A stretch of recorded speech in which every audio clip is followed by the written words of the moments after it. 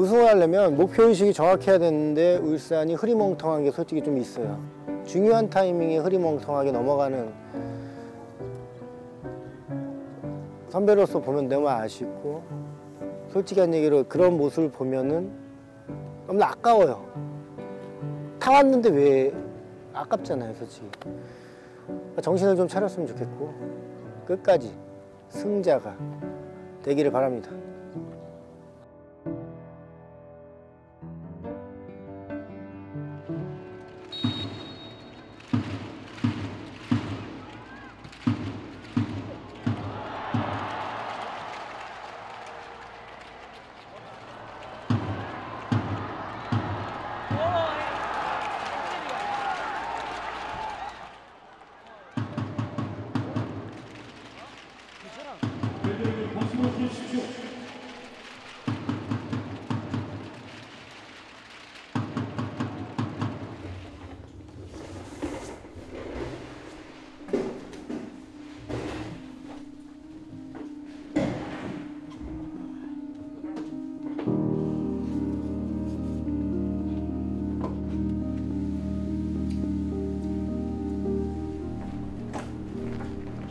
포기했어? 다 포기했어 지금? 어? 다 지금 포기했어 어땠어?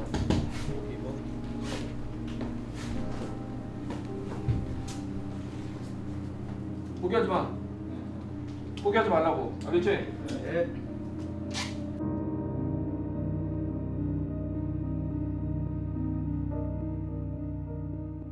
그리고 뭔가 간절함은 많이 보이는데 그런 간절함 속에서 이렇게 실수하면 안 된다는 이런 선수들한테 이게 뭔가 딱딱함이 많이 보였던 것 같아요. 막 결정적인 찬스를 놓친다든지 이런 걸 봤을 때는 경기 속에서 이렇게 편안함이 많이 안 보였던 것 같습니다. 항상 좀 어려웠어요. 조금 잡아야 할 경기 못 잡고 좀 힘들었죠. 매번 힘들고 가다가 발목 많이 잡히고 항상 이겨야 할 경기 못 이기고 첫 해니까 감독님 바뀌고. 그래서 그냥 일단 올해는 우리의 색을 만들자. 그런 색도 있는데 한편으론 또 올해 못하면 내년엔 할 수 있을까 하는 걱정도 있고.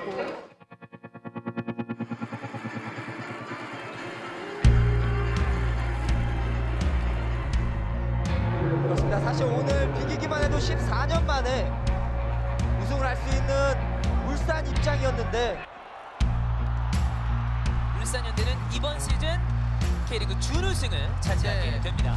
자 울산은 2005년 이후에 15년 만에 우승 도전을 했지만 아, 안타깝게 지난해도 사실 이제 준우승 아닙니까? 네. 다시 한번더 준우승인데 울산이 준우승이 좀 많네요.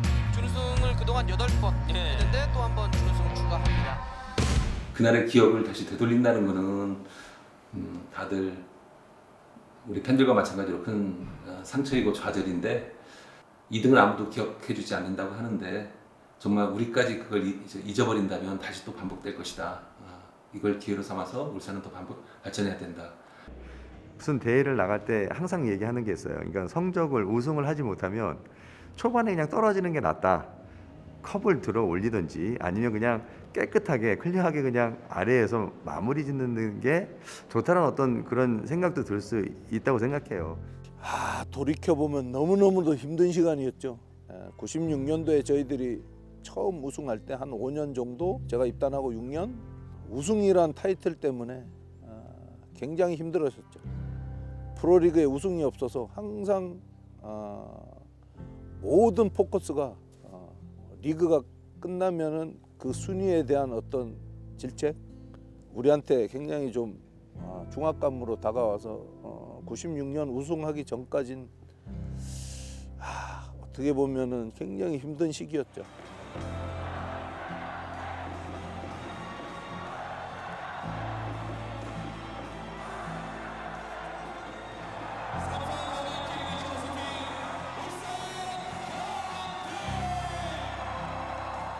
이등은 없습니다. 솔직히 저는 이제 1등을 해보니까 그 맛을 정말 짜릿하거든요. 그 나만 짜릿한 게 아니거든요. 팬들과 정말 모든 시민들이 다 짜릿하거든요. 왜냐 1등이 됐으니까. 저는 그 맛을 보니까 2등은 생각도 안 나요. 사실 우승을 한 팀이 이 준우승 팀을 꺾은 게 기억에 나지 준우승은 사실 잘 기억에 남지 않거든요.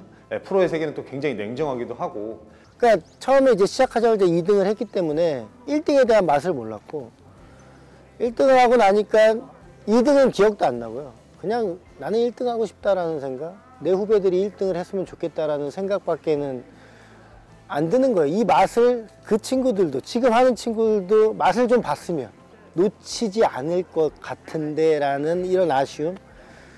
그래서 정말 온도차가 너무 심하고요. 그거는 어떻게 말로서 표현할 수 있는 부분이 아니라 이런 좀 이제 리그에서의 지금 이제 올 시즌 놓고 보면 2005년 이후 이제 16년 만에 다시 K리그의 도전인데 예, 그 도전에서의 또 성과를 선수들이 좀 반드시 올 시즌 좀 내줄 거라는 예, 그런 생각은 정답은 한번 해봐라.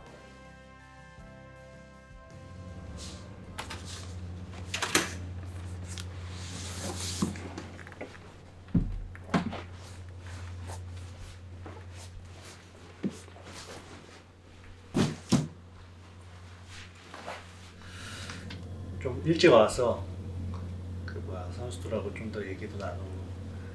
훈련 때는 훈련에만 집중하니까 이게 별로 얘기를 못 하는데 훈련 준비하면서 좀 선수들하고 얘기를 좀 나눠야지 내가 또 선수들 기분도 어떤지 알고 할 수 있으니까.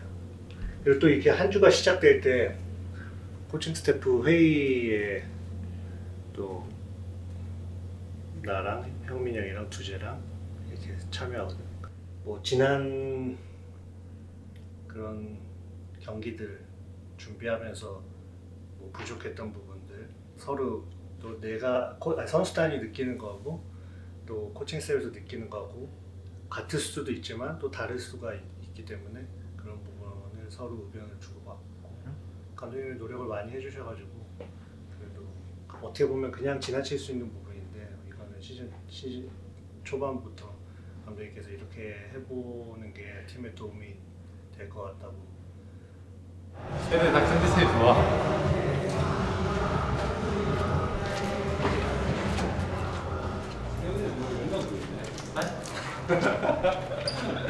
뭐라고요? 맨날 먹고 있네. 사실 우리가 작년까지만 해도 라커룸이 없었어. 그게 각자 방이 있었단 말이야. 근데 한 방에 두 명씩 쓰는데 그 전에는 이제 출근해서 오면 훈련 전까지 그냥 이 방에 있다가 훈련장 훈련 시간 되면은 훈련장 나가서 그냥 거기서 인사하고 바로 들어갔단 말이야. 그러니까 서로 소통할 수 있는 그런 공간들이 서로 노력하지 않으면 공간들이 자연스럽게 없었단 말이야. 근데 이제 원래 오는 사람만 왔는데 지금은 이제 그래도 거의 다 오니까 영화 하우 찍었어? 아니 아니 하고 아니고 그냥 그 퓨마 뭐 촬영하는 거. 와 퓨마 촬영했어? 야 부럽다. 나 올림픽 때 한 번도 못 찍었는데. 같은 빨간에 떨었는데 영화 에이 옷 따라서 좀 심하죠요. 에이 저희 형 6대 6 6대6 아 근데 뉴질랜드한테 졌잖아. 영호 영호 그거가 야 우리 독일 야 독일 이기고 멕시코 이기고 올라왔어. 프리미어리그한테 골 우리 때도 멕시코 이겼다니까. 로사에 영호 형 영호 형 그 광고는 이거의 차이지. 그 온두라스의 차이가 아니에요. 아 그럼 맞지. 그 본질을 흘리세요 야 얼굴 형 얼굴 저 나쁘지 않다니까요. 광고 와 진감 없어 여자친구가 다리도 나쁘지 않은데 아니- 나쁘지 않지 않지? 그러면요. 최악이지. 야 DP만 해 DP? 아형 형이랑 저랑은 배틀 한번 떠야 될 것 같아 야너 진짜로. 이거 야. 형, 밥 먹자고요? 함께 하시죠 형 어? 함께 하시죠 너 사줄 거야? 저요? 아, 그럼요. 네, 8월에 선수 타는데. 아너 파란 손사 탔어? 출근해서 자연스럽게 얼굴 보고 인사 나누고 또 그 중간 중간에 또뭐 축구 축구가 아니어도 축구 부분이 아니어도 이제 서로 생활하면서 얘기할 수 있고 소통할 수 있으니까 그런 공간이 있었으면 좋겠다 하고 요청을 했는데 나는 요즘에 솔직히 우리 팀 분위기가 그렇게 좋은 게 그 라커룸 공간 그 공간이 되게 나는 내가 생각했던 것보다 더 큰 지금 어, 긍정적인 효과를 어, 내고 있다고 나는 느끼고 있거든. 그래서 구단에 감사 인사를 한번 드리려고.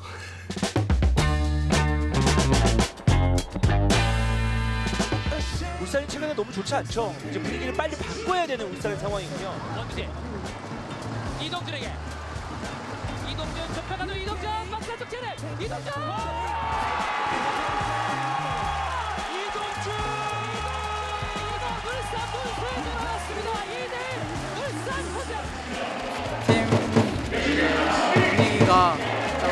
침체돼 있었는데 또 저희가 합류하면서 오늘 경기에서 또 어, 승리를 하게 돼서 되게 기쁘게 생각하고 있습니다.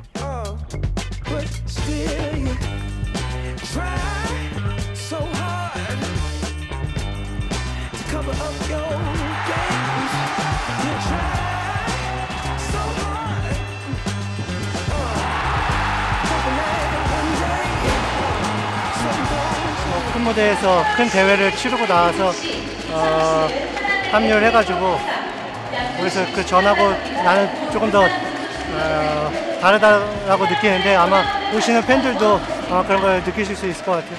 어, 이 상승세 쭉 이어가도록 하겠습니다.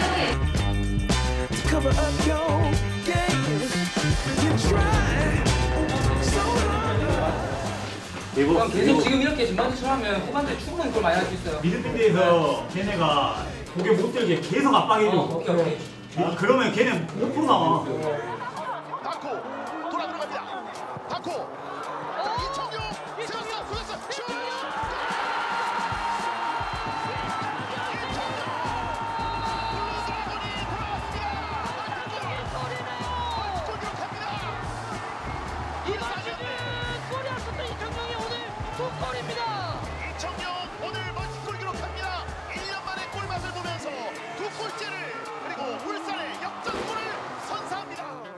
리그를 하다 보면 뭐 계속 연패할 때도 있고 사실 계속 승리할 때도 있고 저는 항상 승리할 때가 더 중요하다고 생각합니다. 다음 경기가 리그는 꾸준한 팀 우승할 수 있기 때문에 예, 거기에 대해서 어, 팀을 맡은 감독이 적절하게 잘 대비해야 된다고 생각합니다.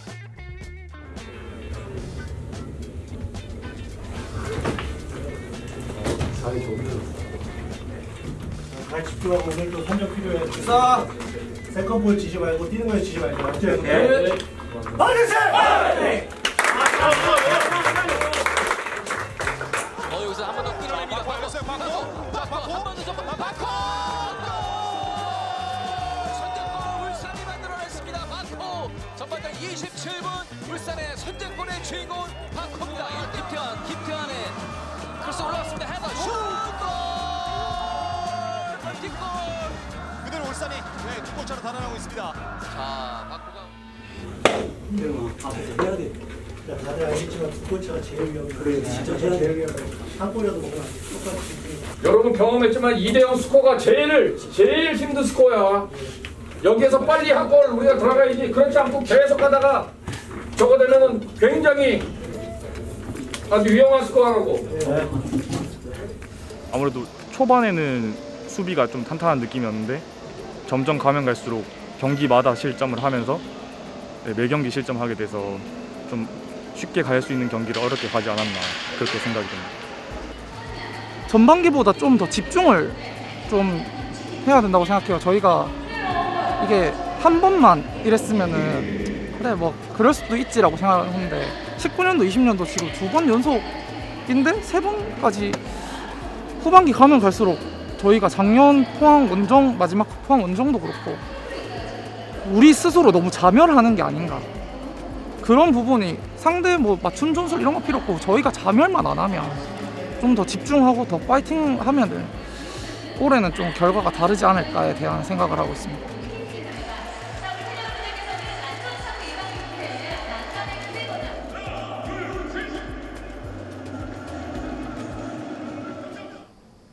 뭐 핑계 아닌 핑계지만 뭐 우리가 태국 갔다 휴식기를 끝내고 잘 이제 가- 격리하고 뭐 수원 FC 그렇게 큰 나도 축구하면서 다섯 골 진짜 오랜만에 왔는데 그런 골도 먹어보고 한 거지만 이제 스태적으로 봤을 때는 우리가 뭐 그렇게 수비에 절대 약하고 그런 게 아니거든.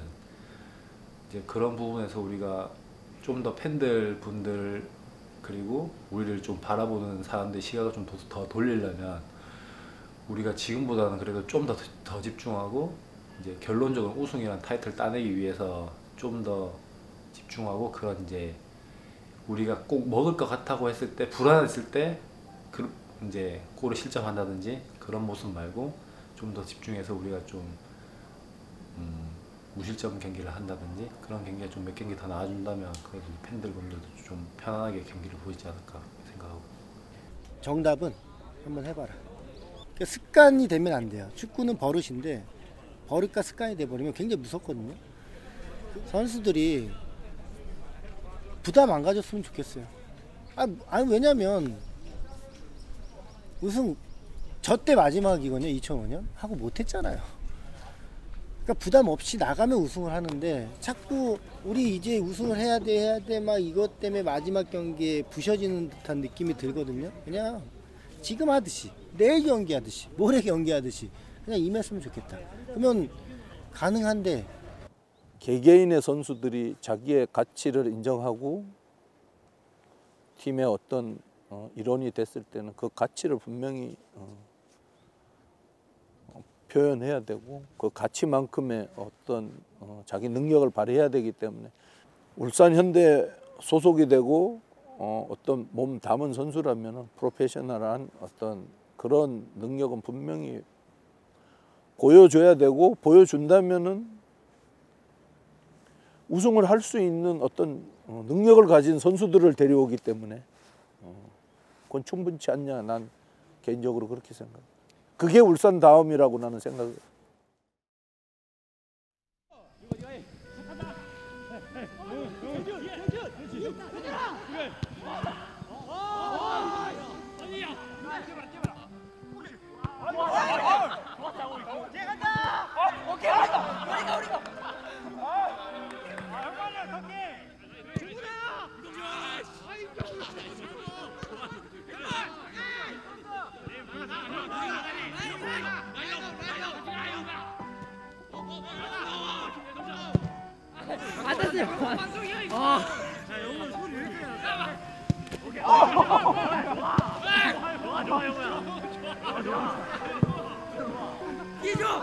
지금 우리한테 필요한 거는 심리적인 안정감이기 때문에 그 부분을 오늘은 뭐 내일 경기지만은 좀더 선수들이 내일 다가올 경기에 대한 압박감을 좀 더 더 풀면서 뭐 즐거운 시간 보내는 게 가장 핵심적인 음, 포인트였습니다.